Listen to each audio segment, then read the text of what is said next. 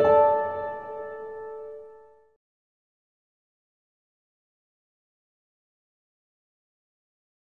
name is Michele Hutchison, and I'm here to talk to Paul or PC Evans today about his new collection of poetry translations, Grand Larcenies, that's being published by Carcanet Press. And um, Paul, tell me just a little bit about yourself and your writing. But when I was younger, all my um, all my writing heroes were butch writers like Orwell and um, and Hemingway. So that's what I wanted to uh, to write like, you know, particularly short stories. Um, but unfortunately, um, when I was trying to write stuff like that, you're so under the influence of these guys that you don't have your own voice. So I literally came up to Amsterdam from Turkey and checked into um, a hotel uh, in the red light district. And um, I thought, come on, you know, forget all this stuff you learned. It's all derivative nonsense. Just start writing. And out popped poetry. I was just absolutely stunned. I was like, oh my God. But you recognize it instantly, but you didn't realize you were on that path until it's just stuck in front of you. So, so you've been writing poetry for a long time. And how long have you been translating poetry? Um, when you want to write poetry in um, in a well-grounded way, uh, you study uh, all of the poets. Um, you know, you study their um, their rhyme techniques and their verse techniques, study their meter and stuff like that. Um, and lots of poets who want to write in that way, um, they have a lot of uh, juvenile material that they sort of they copy other people and then they throw it away and they take the lessons from those poets.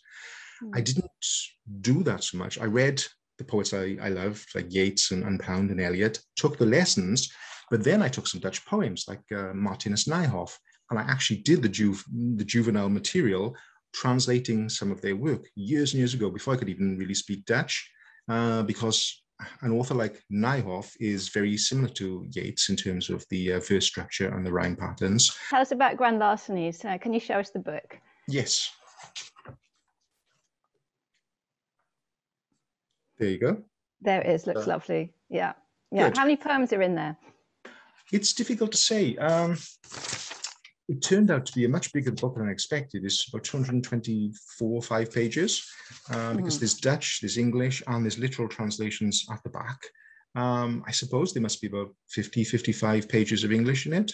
Mm-hmm. Um, but um, there's something that appeals to you know different demographics. Uh, you notice in Dutch bookshops, people are like, uh, "Oh, there's got the Dutch in it as well." You know, it's uh, so hopefully it uh, lots of different kinds of readers will uh, will be drawn to it.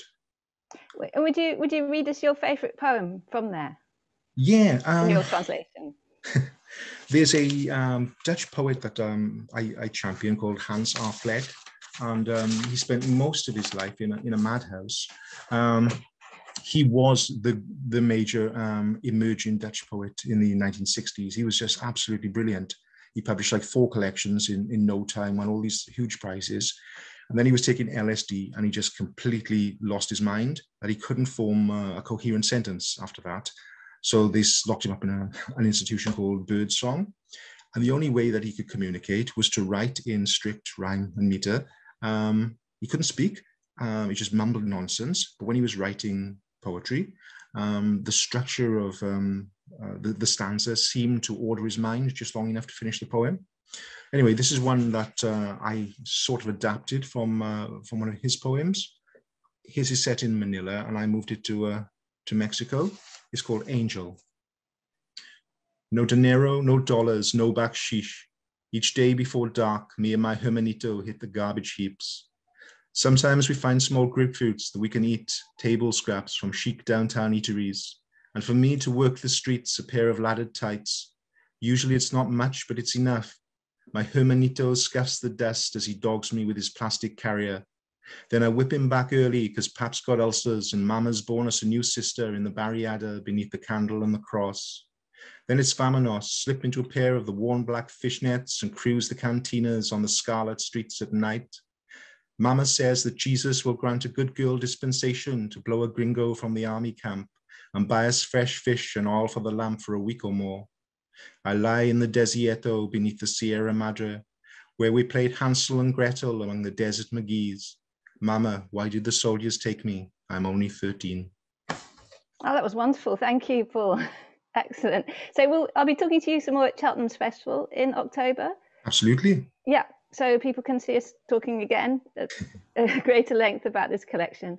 Um, it's available from Carcanet and um, all the rest is, of the information is, is online. Thank you. Thanks, Michele.